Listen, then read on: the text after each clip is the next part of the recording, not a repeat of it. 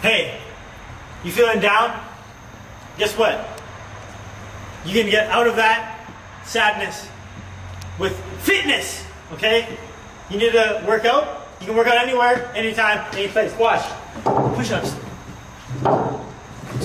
Dips. Push-ups. Dips. You can do it anywhere, anytime, any place. You don't have a place, you can just dance. Dance, dance, dance, dance, dance, dance, dance. Do that footwork. Do that footwork.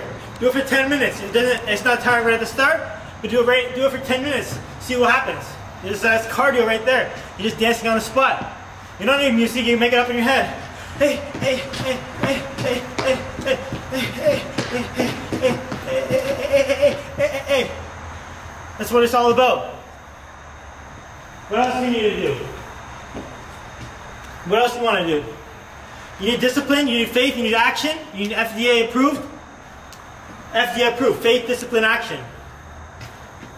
That's what it's all about. So if you want, if you want to stop being down, feeling down, get out there, get active. Keep your brain stabilized. Stay mentally involved in activities. Get, get the stimulation.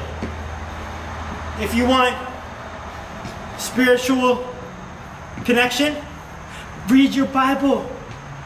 Pray to God. He's always got your back.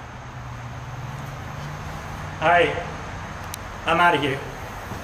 Hope you enjoyed.